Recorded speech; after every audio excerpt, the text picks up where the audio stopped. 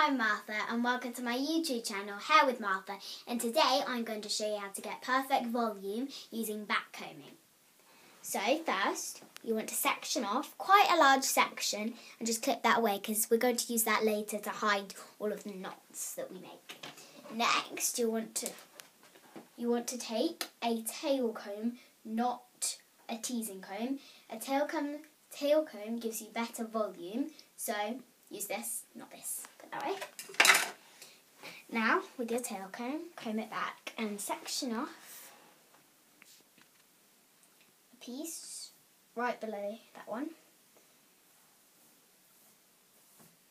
Now you want to go, put your comb about here and just gently push it down and release the comb. Put it here, push it down, push it down, push it down, just keep doing this until you create a nice mesh in the roots. So a bit like that. Okay, so you've just got a nice kind of knot there. Okay, now you want to take your next piece.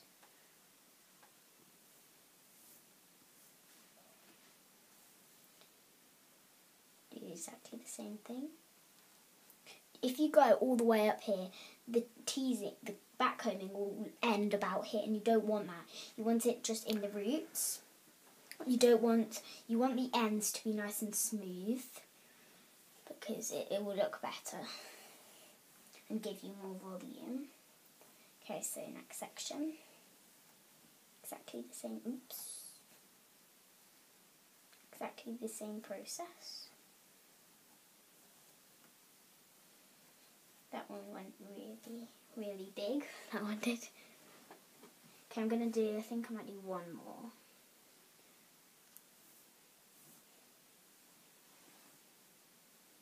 Take your time with this, it's not a rush.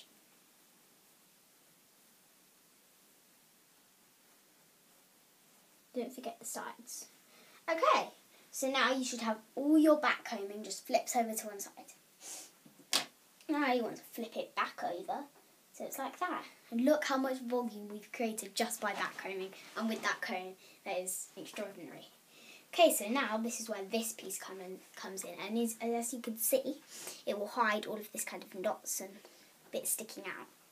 So it will really help us with our style. Just take your comb and just gently layer it on, like that. Just comb it out so you can't see any of the teas um, back combing underneath. You see how much volume that creates, it's really, really amazing.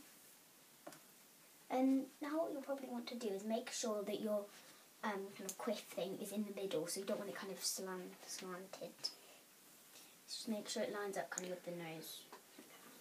Okay, so now you want you can take a bit of smoothing serum, a bit in your fingers, and just lay, and smooth that out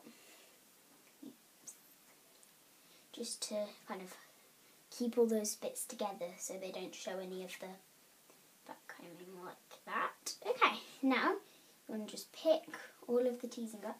See that you can just easily select it and pick it up. Just comb it all out like this.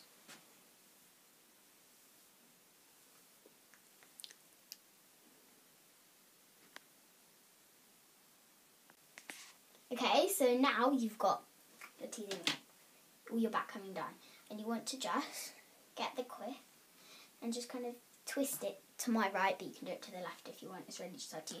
I'm just going to kind of finish this off. So you want to just twist it there. Then you want to just to kind of just take a rough section. It doesn't have to be too neat. And just add that into the twist and then take like the same size section from the other side and add that into. And then just take another section, add it in, another section, add it in. Then just take the rest of the hair and we'll add it in.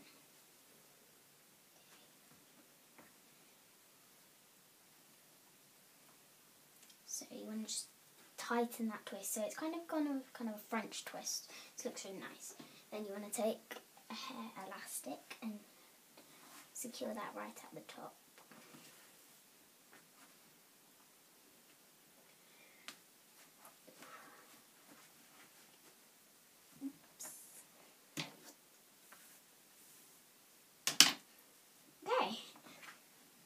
You might want to add like an accessory.